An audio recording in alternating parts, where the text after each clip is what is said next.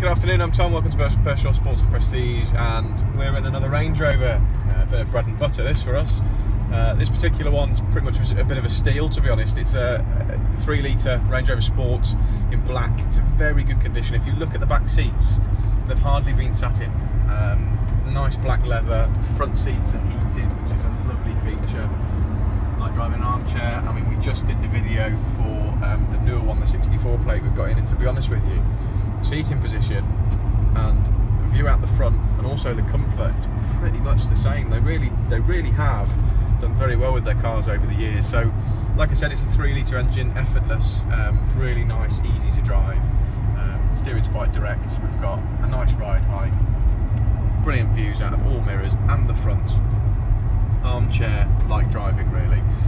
Have the old fashioned um, Range Rover, uh, Jaguar Land Rover display up front, um, LCD display in the middle, um, and pretty much everything is typical Range Rover uh, in this car.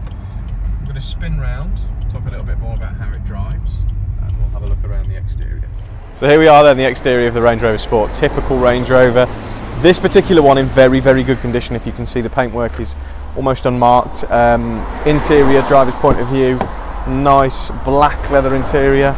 It's all very, very smart inside.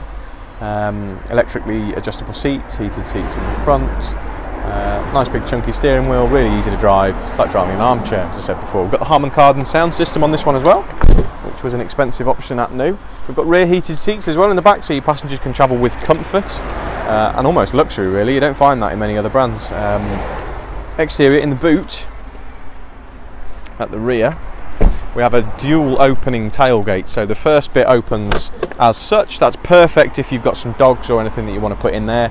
Or even if you just don't want to open the boot you can just reach in there and grab whatever you need. When you close that underneath here at the bottom we have a button that we can press to open the entire boot up as well leaving you a massive load space loads of room in there. You can even fold the rear seats if you're going to put anything else bigger in there which I doubt. Anyway Around to the side, we have rear parking sensors as well, which is a nice feature. The uh, kick plates at the bottom, synonymous with the Land Rover brand. Same with the vents on the side.